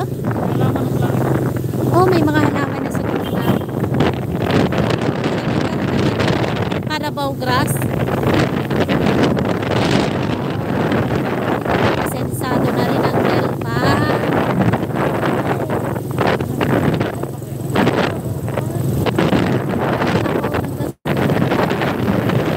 Yan guys, nakita pala to ng mga halaman din yung pinaka center island ko dito. Wow! This is something new. Yan, shout out po sa lahat ng taga Delpa. Napakaganda na po pala ng kanilang ah, center island dito. Meron na siyang halaman at saka Carabao grass. Ikot na pala tayo. Oo, ukot tayo. Camera plus kuya.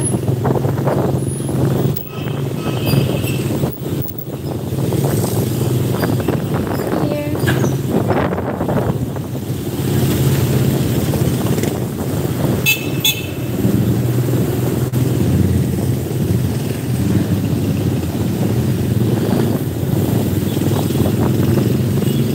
So, dito po yung ah, pinaka-office po ng ah, District 1. At siya nga pala, yun yung Center Island. Uh, mga pasaway kasi, hindi man lang magsuot ng helmet yung iba.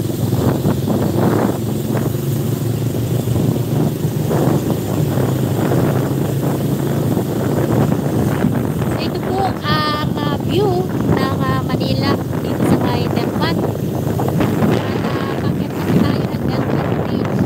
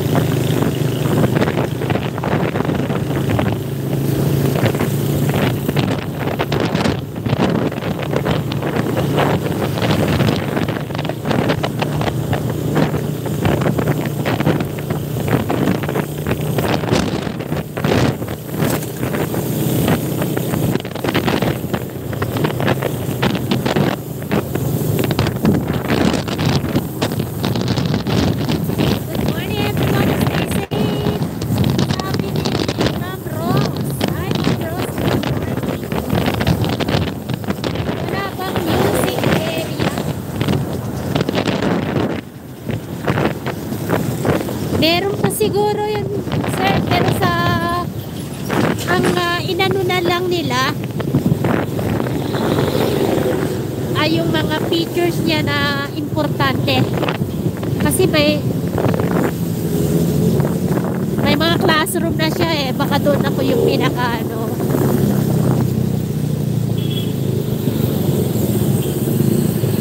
Maring isa sa mga classroom ang magiging music area niya.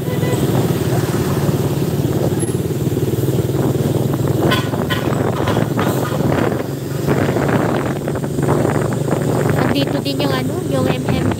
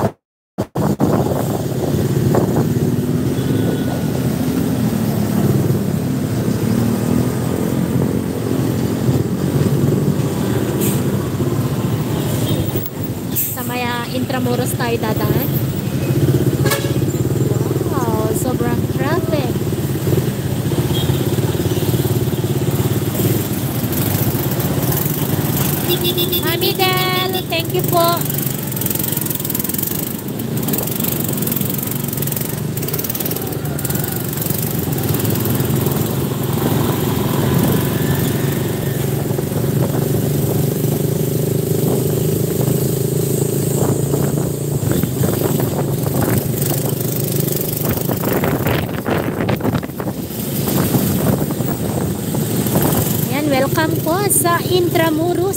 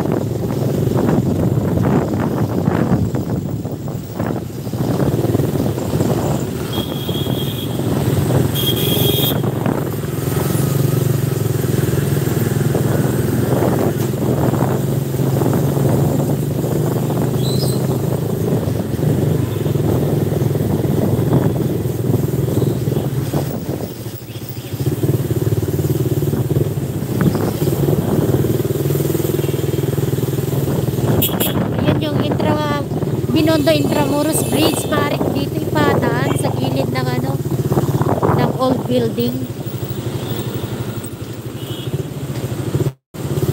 Ayan, Bureau of Immigration. Dito ako nagpa-red ribbon mga kababayan ng aking ah, record sa school. Diyan ako nagpa-red ribbon. Ayan, ah, that was uh, year 2006 siguro. Kasi nag-apply tayo going for ano, uh, going abroad that time.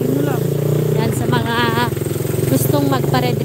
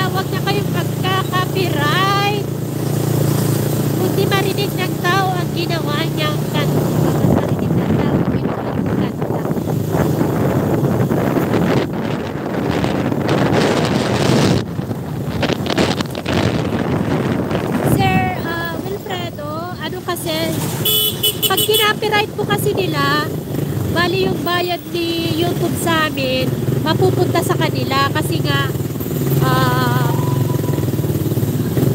nagano sila, nag-file ng, ah, wait, nagano sila, sa kanila yung kanta. Although na yung part lang na yun, yung ah, may kanta, pero kiniklaim nila na sa kanila yung video. Chinek ko ni YouTube, makikita doon yung kanta na sa kanila. Kahit napupunta na sa kanila yung bayad. Ganun po. Kaya minumute ko, minumute ko po. Of course, ako po yung nag-live. Gusto ko po, mapunta po sa akin yung revenue. Kasi yun lang po yung uh, pinakasahod namin nasa YouTuber. Kasi sayang po yung pagod din namin na bumiyahe, yung oras pag clean ko nila na sa kanila. Kaya pasensya na po kayo pag minumute ko po.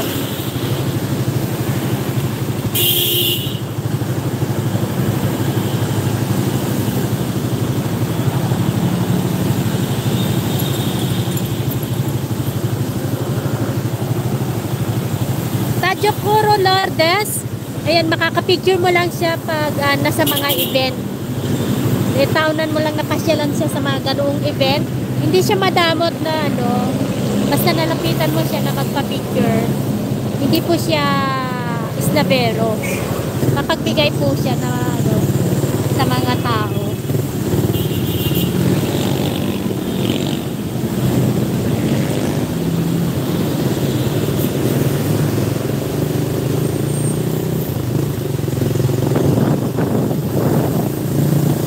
Ma'am Maria Pinjam, kamusta ka na po? Magaling na po ba kayo? Kamusta po?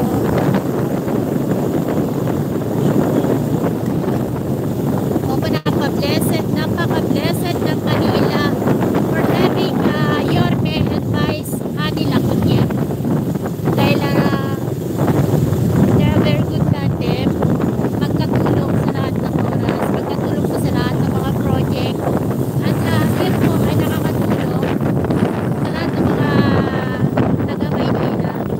Mas madaling uh, may isa katuparan yung mga proyekto kasi walang salungatan.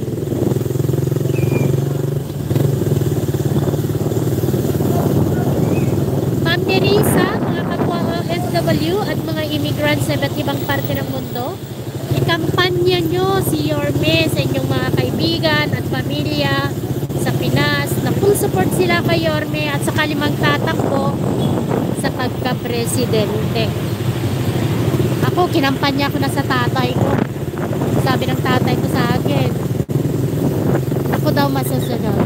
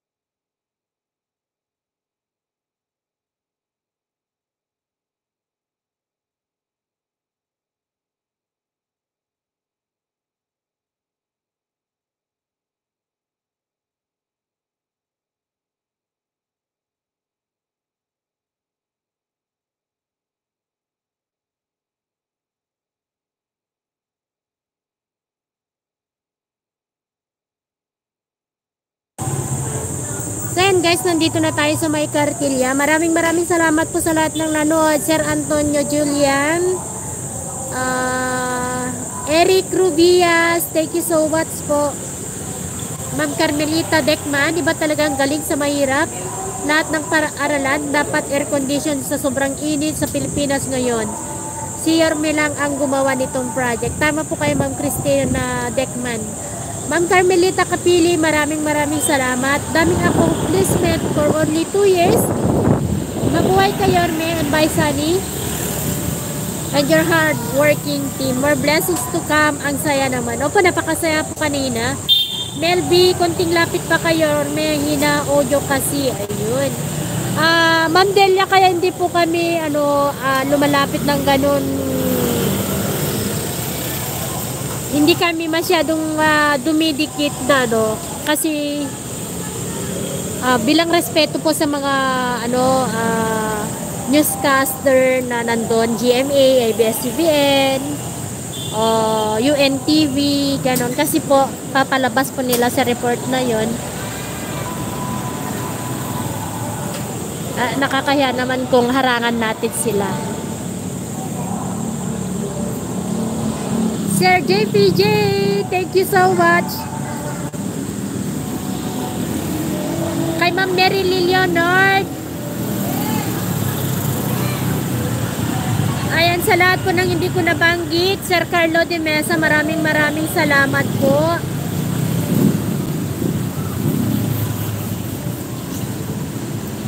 Ma'am Lelita, ayun, Ma'am Mary Leonard, nabanggit ko na ang kanyang pangalan. Unknown. Kay Unknown, kay Sir Vic Gonzalez, Gregorio Elcano, Ma'am Amy Regidor. Ayun, maraming maraming salamat sa inyong lahat. Ma Sir Frank Saria. Carla Acorda. Juji Maski. In fairness naman kayo, may talagang pinaspasan ng mga project. ML. Hi, ML. Kay Pinat Bet 05. Bet Magno.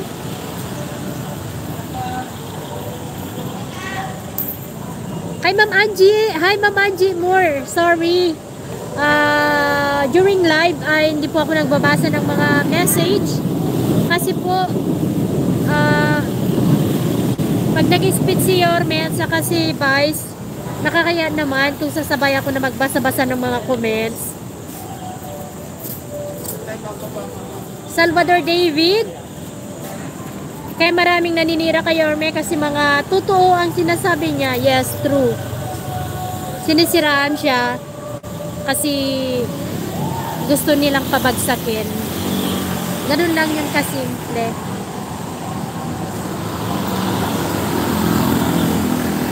Kay Sir Rhodes, Daniel Galope, Ma'am Sally Charlan, good job Mayor, your mother is very proud of you. Sir, you are a fantastic mayor of Marinila. Ayun. Thank you, Ma'am Sally, Charlan, Ma'am Salvador David, Rhodes Daniel Galope, Arnold Pulunka, thank you so much. In-house detective,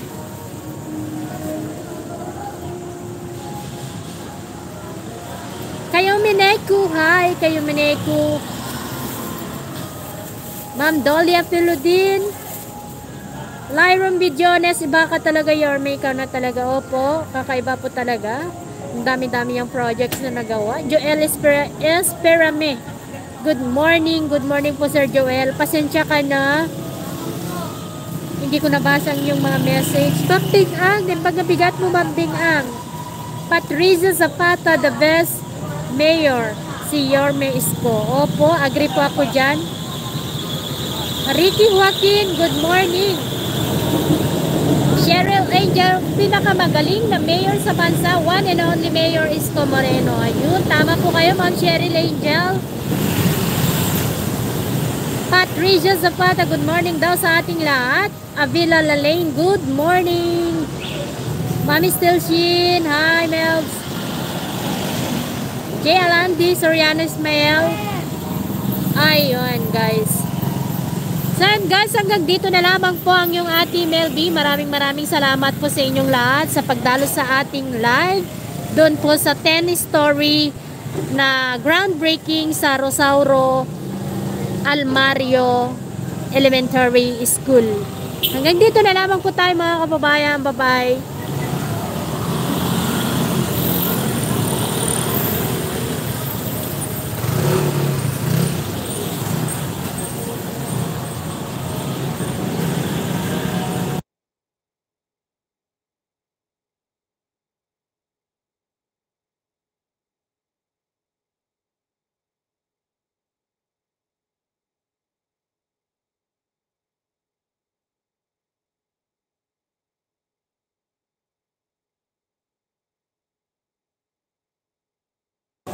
Ay, naka-live na ba si Yorme? Opo, napansin po natin na pag ah, may mga event na si Yorme, hindi na po sila nagla-live. Bali, kinukunan na lang nila ng video and then after that ay ina-upload din same day. Ewan ko po kung ano nga. At pag in-upload na po, binababaan na po nila ng resolution. So, pag naka-live, expected na blur, blurry. Pag, pero pag in-upload na naman nila sa FB, binababaan po nila ng resolution. Ah, malabo din, malabo, parang live din yung ano, kalalabasan. Hindi ko po maintindihan bakit ganun na ngayon yung ano ng ah, ah, FB page ni Yorme. Anyway guys, maraming maraming salamat po. Happy Monday sa ating lahat. God bless po. Ingat po kayo lagi. Ma'am Lawrence. Ah, magpapaalam na po ako, Ma'am Lawrence.